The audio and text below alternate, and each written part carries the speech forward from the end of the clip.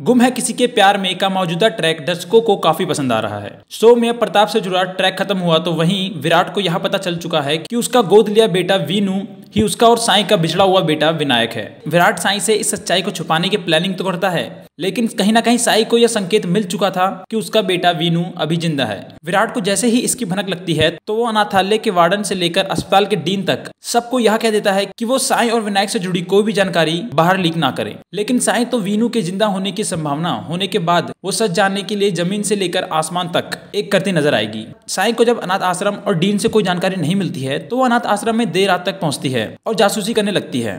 दरअसल आने वाले एपिसोड में साई दर्शकों को जासूस की भूमिका में नज़र आएगी। अनाथ आश्रम से नागपुर से गढ़चिरौली जाने वाली बस की दुर्घटना में बचे बच्चे की जानकारी पाने के लिए अनाथ आश्रम का डाटा चुरा लेती है। अनाथ आश्रम के एक गार्ड को साई पर शक होता है और वह उसे पकड़ लेता है।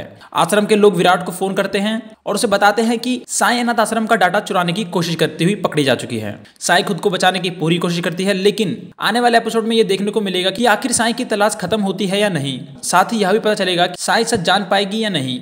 विराट अपने पद का इस्तेमाल कर कर साई को सच जानने से रोकने की पूरी कोशिश करेगा। दोस्तों, आपको क्या लगता है इस बारे में? हमें कमेंट सेक्शन में ज़रूर बताएँ और हमारे इस चैनल को सब्सक्राइब कर दें।